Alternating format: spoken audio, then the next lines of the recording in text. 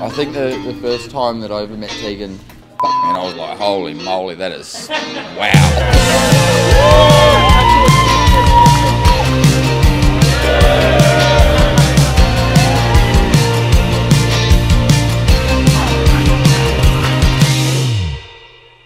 Tegan, I vow to be the man you deserve and your partner in crime. I promise to support our family with you in our home and protect and to provide for us all. I vow to grow old with you and I will love you unconditionally through difficult and easy times. Whatever bridges we may cross, I promise to always be there as I've given my life to you.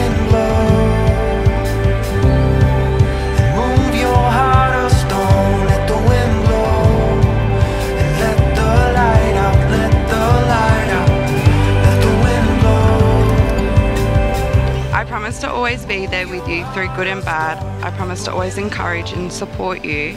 I promise to always make you laugh, but most of all, I promise to love you unconditionally for the rest of our lives. I love you so much.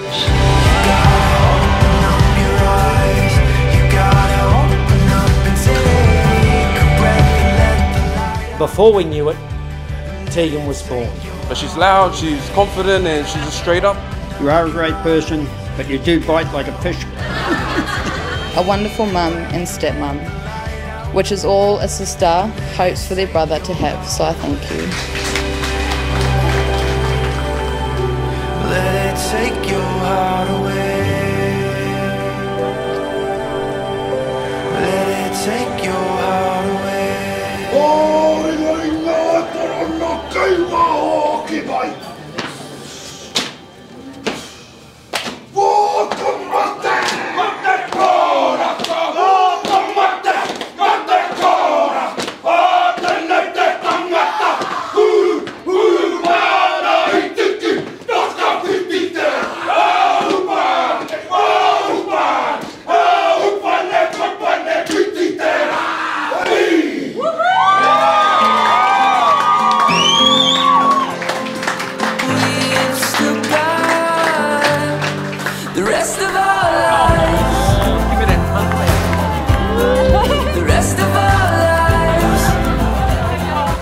Falling for you nearly nine years ago wasn't falling at all, it was walking into a house and knowing you're home. The love I have for you grows and grows every day. I love your witty sense of humour, your sensitive, caring soul, your unconditional love for our boys and me, but most of all, I love your sexy bald head. Dance with me beneath the stars, moonlight crashing on time, please give your loudest cheer as Ethan and Tegan as husband and wife. Ethan, please kiss your bride. Rest of our life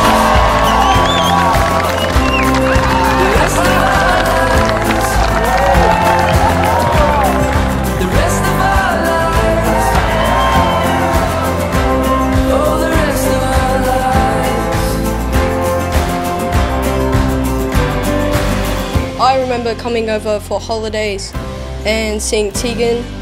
I always forgot her name though.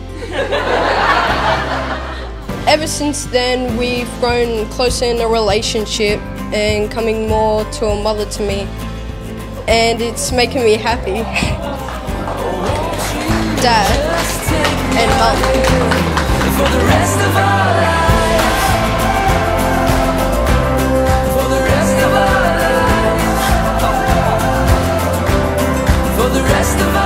The love and bond that you guys have got. Carry it right through. You know, one day you too will be up here. Your kids will be. I wish you nothing but the best out of life. And remember, bro, happy wife, happy life.